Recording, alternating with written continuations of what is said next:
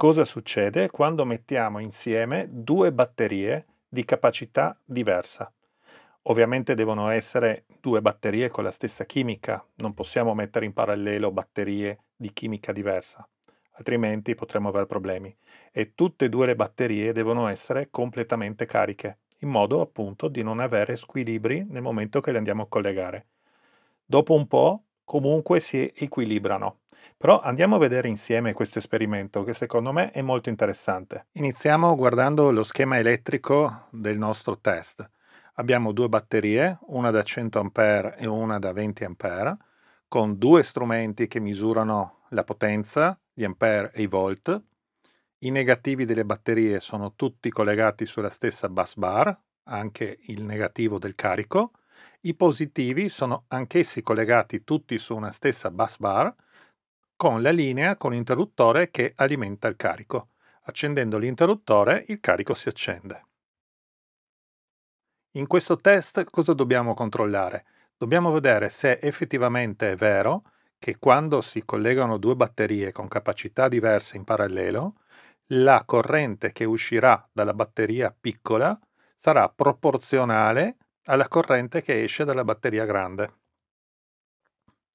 E la totale dell'energia disponibile di questo sistema è la somma delle due potenze.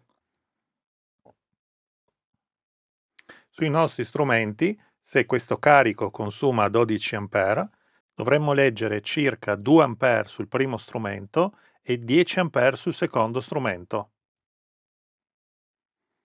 Le batterie quindi si scaricano insieme. Quando la 100 A arriverà a zero, anche la 20 A sarà completamente scarica. Abbiamo una batteria da 100 A, la Watt Cycle, batteria molto interessante, Presto ci sarà sul canale la recensione su questa batteria è in uso un po' particolare, composto da tre batterie in serie per alimentare i motori di prua. E abbiamo un'altra White Cycle da 12.8 come questa, però 20 A. Qui c'è scritto 12 volt, in realtà è una 12.8 anche questa, con la stessa chimica come potete vedere, però con due amperaggi completamente diversi. In un caso abbiamo 100 A in un caso abbiamo 20 A.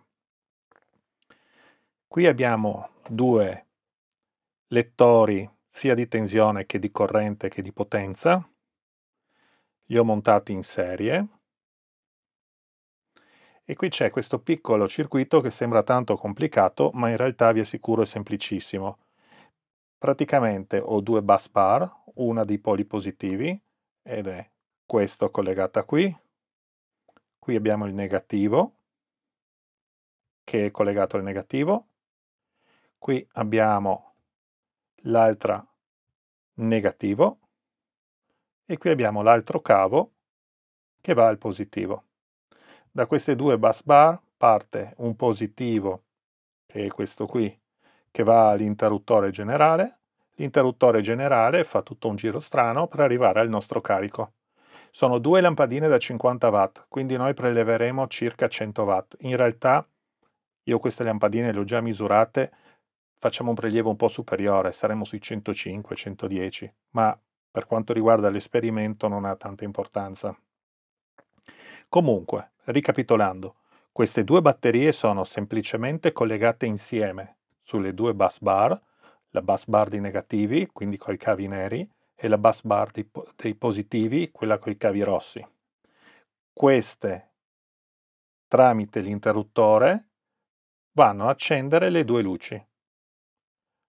Proviamo a collegare, vediamo intanto cosa succede. Un piccolo controllo alle tensioni. Aspettate che metto lo zoom. Eccoci qua. 13,34 e 13,31. Dopo vi farò notare ancora una piccola cosa su questo impianto, ma per l'esperimento che dobbiamo fare noi va più che bene. Bene.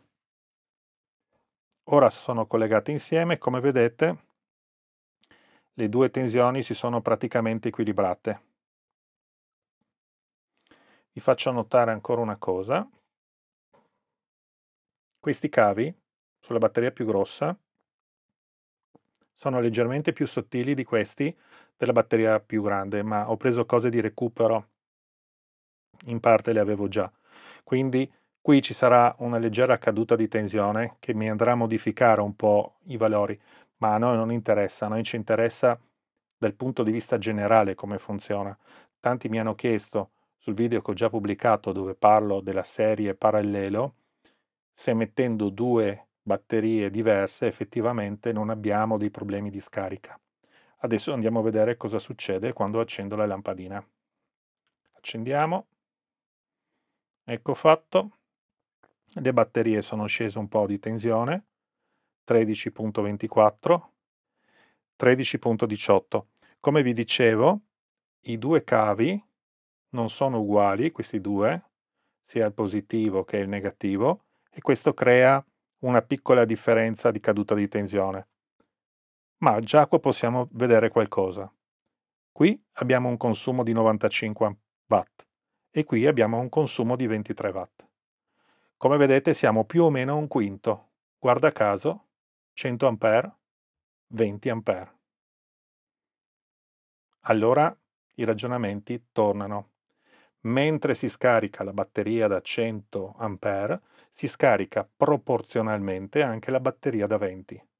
E questo succede anche nel momento in cui farò la ricarica. Se io dovessi caricare adesso queste batterie, utilizzando questo sistema, cioè tenendole sempre in parallelo, si caricherebbero proporzionalmente.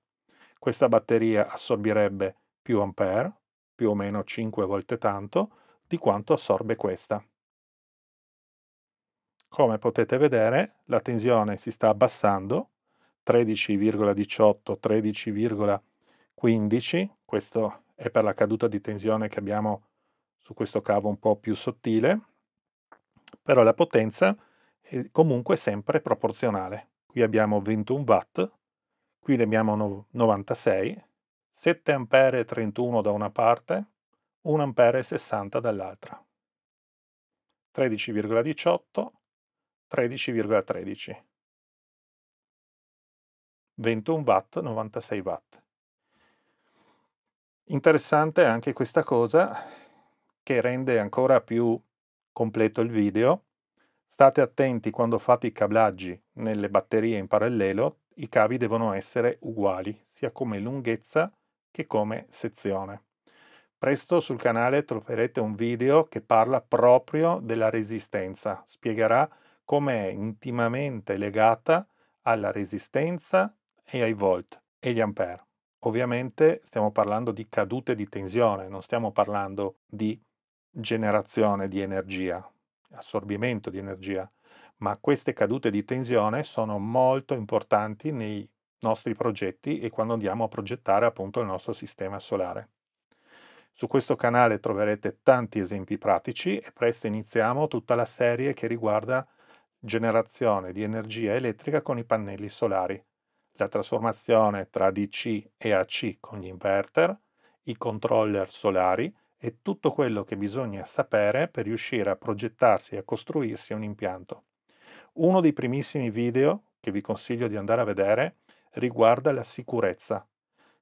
Troppi, veramente troppi video su YouTube non prendono in considerazione questo aspetto. Stiamo parlando Stiamo parlando di batterie, queste all'acido, che sono molto più pericolose delle batterie al litio e vi spiegherò bene perché. Proviamo a spegnere. La tensione piano piano risalirà un po'. Siamo a 13,26 e 13,24. Un altro aspetto interessante, voglio mostrarvelo subito. Questa è l'applicazione, questa è la batteria che ho già che ha già trovato il Bluetooth, che è questa, la 100 Ah versione Smart, Smart Edition. Batteria molto bella e molto interessante che vi mostrerò a breve. Riconosciuta dall'app, la andiamo a selezionare. Ecco qua. Praticamente la batteria è ancora carica, è al 100%. Qui abbiamo le temperature interne di tutte le celle, lo stato delle celle come tensione e la carica. Adesso proviamo a collegare le luci. Ecco fatto, si sta scaricando, è passata al 99%, anche perché prima avevamo fatto delle prove. Discharge modes e qua abbiamo la potenza. 93 watt sta buttando fuori, che è in pratica sì, abbastanza simile alla lettura che abbiamo sopra. Siamo passati al 98%. Una cosa che possiamo fare su questa app, se vogliamo, è spegnere la scarica, quindi gli utilizzatori. L'interruttore è questo, basta schiacciarlo. Io adesso ho staccato la batteria, infatti questo mi dà 0 watt, e la batteria che è uguale a 20 A sta buttando fuori 110 watt. Adesso la riattivo perché non voglio squilibrare troppo le batterie. Ok. Questa qua deve recuperare un po', adesso ci sarà un piccolo travaso di corrente tra una batteria e l'altra, ma si subito stabilizza. Qui abbiamo di nuovo 101 watt, 100 watt, e qui ne abbiamo 16, torniamo sempre al totale come era prima.